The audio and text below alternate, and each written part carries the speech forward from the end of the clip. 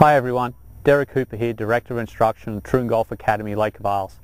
Today I want to talk to you a little bit about a concept in the golf swing which is often misunderstood but is a very important part of being able to hit the ball consistently and that's swing plane.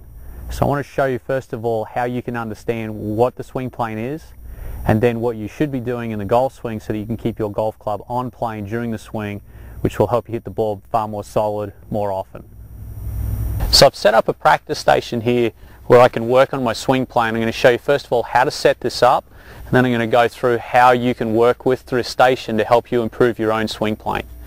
Now first of all let me explain what swing plane is. So swing plane is determined by the angle of the shaft in my address position. So when I set up here you can see that I've taken this rod that's behind me and this rod that's in front, I've got them set at the same angle as the shaft at address, and that is my swing plane. Now, ideally in the takeaway, what we'd see is the club would stay on that swing plane until the club reaches hip high. And then from there up, I want to see the shaft stay parallel but above it all the way to the top of the swing. I want to come back down parallel and above it to here again. I'm going to walk, work down the plane into impact, up it to here, and then parallel above it in the follow through. And that would be the club working on plane. One of the biggest errors I see with players though is that when they set up, they want to take the club away with the hands. They get disconnected with the left arm and the left rib cage, which gets the hands out above the plane. The club gets in below plane and they get the club head way behind the hands.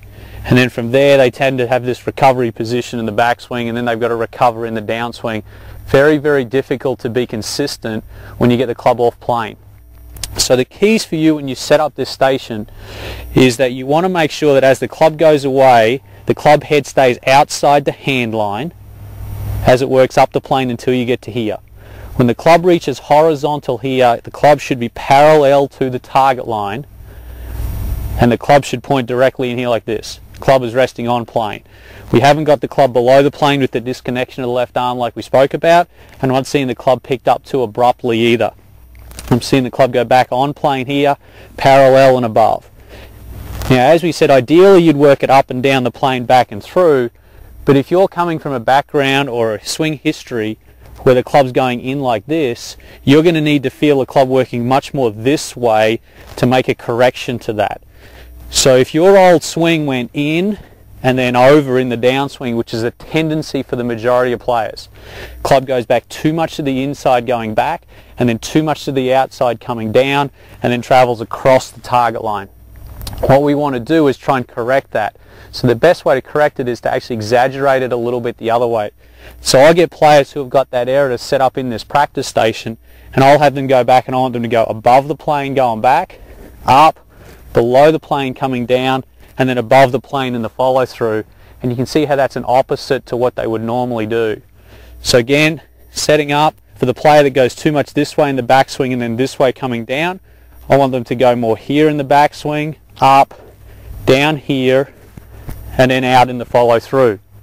For the player who tends to go too much the other way, which tends to be a better player's error, where the club will go back and then they drop it too much under in the downswing, I'll have them go the opposite way. So I'll have them set up. I want the club to go back just below this in the backswing. Take it up, drop it above it coming down, and then below the front rod in the follow through, and that will help neutralize that swing plane for them. So depending on what your error is, is going to determine which way you're going to practice this drill. Now if you're not sure what your swing error is, there's a couple of ways you can check it. You can do a little video work, setting up the camera in the same angle I've got it set up here. Your other option would be if you have a look at your divot pattern.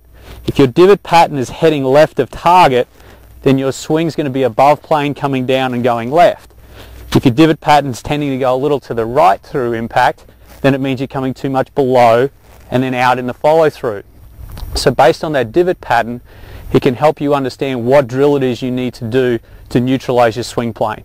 So as we said, depending on what your error is, too much in in the backswing and out coming down. We want to feel the opposite of that when you're doing your practice. Setting up this practice station is a great way to fix that. And if you get away and work on this drill, I'm sure you can improve your swing plane very quickly and you'll be able to hit some good shots in no time.